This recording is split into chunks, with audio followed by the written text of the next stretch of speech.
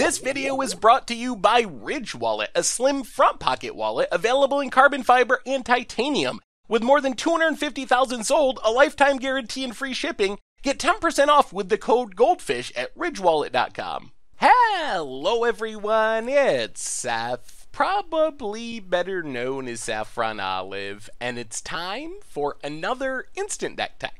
So as you know, Monday means it's Modern Monday here in Instant Deck Tech Land, and we have a super spicy new M19 influence deck to look at today. So you might remember a few months ago, we played this Fishbowl Thursday deck called Bridgevine, which was looking to get Vengevines, Bridge from Belows in the graveyard, play a bunch of zero mana stuff, and at the time, when we played that deck, it was really explosive, but it was missing something that kept it from being really competitive. We just kind of like did our thing, and when our thing didn't work, our deck looked really, really bad. So we got some really fast wins, but we were lacking this consistency. Well, M19 came along and gave us a new addition, and also people have just developed the deck more to give us this new version of Bridgevine, Zombie Bridgevine, which solves a lot of the issues we had with the initial one. So this one finished 5-0 in a competitive Modern League on Magic Online in the hands of Kazoken.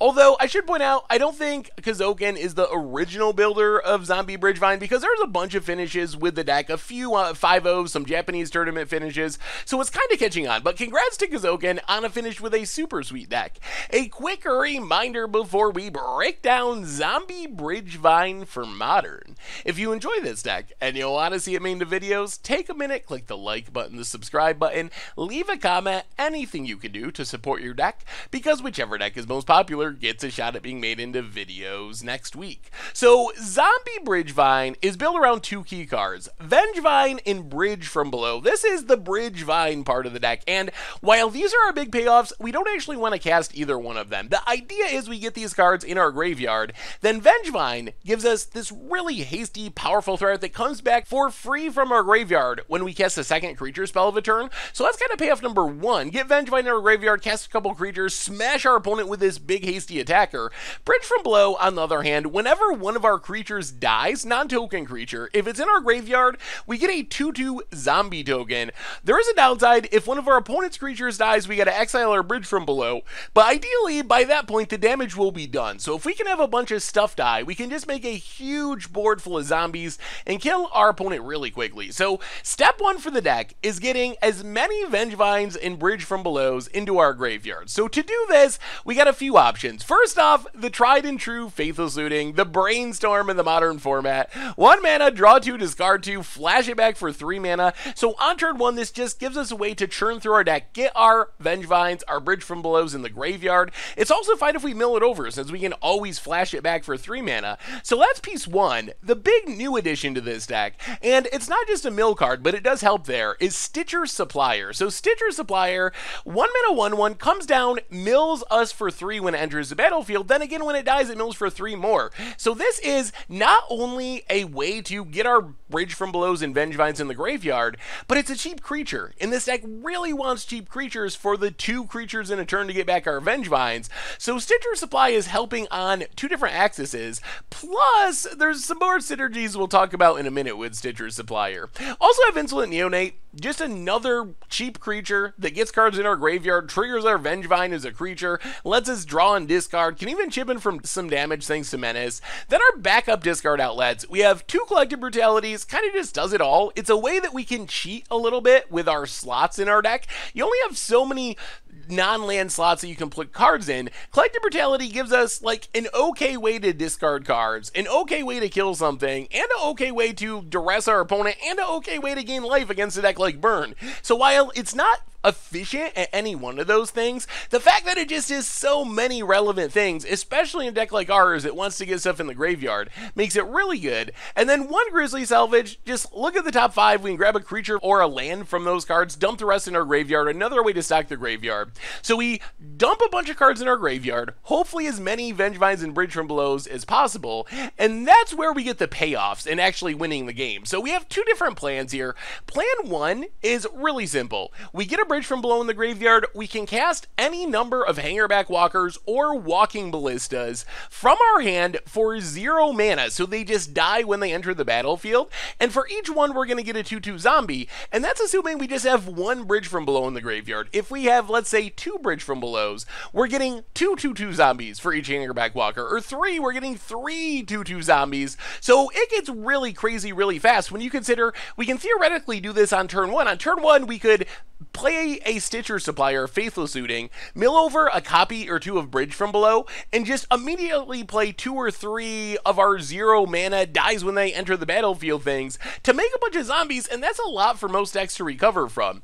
We also have some sweet tricks, and thanks to Stitcher Supplier, we have this new kind of unique combo. So Stitcher Supplier, the other upside, beyond stocking our graveyard, beyond being a creature for our Vengevine, it's a zombie, which means means we can play Gravecrawler now. And Gravecrawler is a card that wants to be in the graveyard, plus it gives us a way we can kind of go oddly infinite with the help of Viscera Seer. So if we get some bridges in our graveyard, we have out our Stitcher Supplier, just have a zombie, because you need a zombie to cast Gravecrawler from your graveyard. Viscera Seer lets us scry by sacking a creature, so we pay a black mana to cast our Gravecrawler, then we just sacrifice Gravecrawler, which is going to let us scry to find our important important pieces if we're looking for something. Plus, we're going to make a zombie from our graveyard, and then we got zombies from the bridge from below, so there's synergies there as well. So this zombie package gives us a way for each one black mana that we have, we can trigger our bridge from below by sacrificing Gravecrawler to Viscera Seer, recasting it, doing again, doing again, doing it again,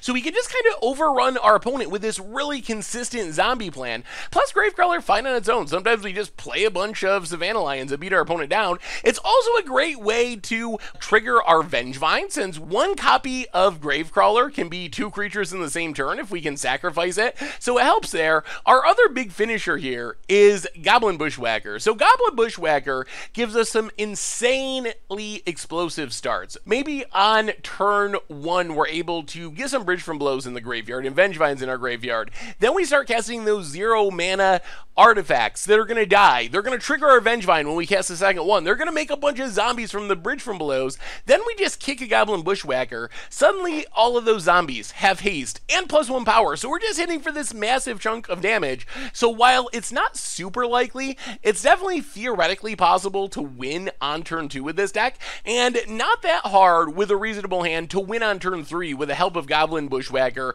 hasting up all of our zombie tokens. As far as the mana base, some fetch lands, some fast lands, some basic lands, a bunch of shock lands to tutor up. In the sideboard, we get a bunch of removal that also works with our graveyard plan. Dark Blast kills little things, can dredge over some cards to get it back and fill our graveyard. Lightning Axe, we can kill a big thing and also discard a Vengevine or a Bridge from below. The third Collective Brutality, Ancient Grudge, Destructive Revelry, very important to our deck because we need access to our graveyard. So we got to make sure that we can deal with Relic of Progenitus, Tormod's Crypt, deal with Rest in Peace, Leyline of the Void, because any one of those things on the battlefield pretty much just neuters our deck. Then we're casting 1 1s and casting Gravecrawlers and casting Vengevines. Although I will say that this deck is a little better than the last one because Gravecrawler is another threat that can actually kind of attack. So while it is definitely not ideal, it's possible we can just cast Gravecrawlers, cast Vengevines, and win the natural way. But really, we want to deal with the graveyard hate. And then to hate on our opponent's graveyard, we have Leyline of the Void, which doesn't hit on our graveyard, also gives us a way to protect our bridge from below.